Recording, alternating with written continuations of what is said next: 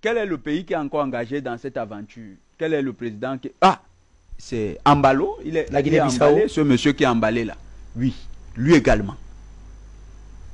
Il faut que le peuple de Guinée-Bissau fasse son travail en Guinée-Bissau.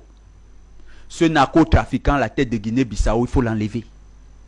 On ne peut pas accepter quelqu'un dont les noms sont cités, dont le nom est cité dans les trafics de drogue, à la tête d'un État africain. Encore plus, il a même présidé une institution pana- euh, euh, de, la sous-région. Mais comment un tel, un tel voyou, parce que c'est comme ça qu'on dit non, au quartier, quand on voit quelqu'un qui fume le banga, ou bien qui prend la cocaïne, on l'appelle comment? Voyou.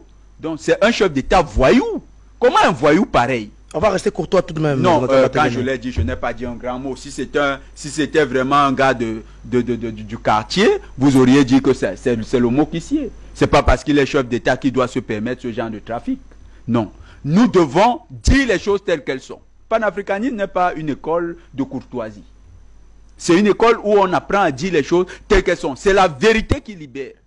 La Guinée-Bissau est dirigée par un chef d'État qui fait dans le narcotrafic. Lui-même le sait. Ce n'est pas nous qui le disons, c'est les rapports du FBI. Je suis du FBI. J'étais là quand on écrivait ça. J'ai lu.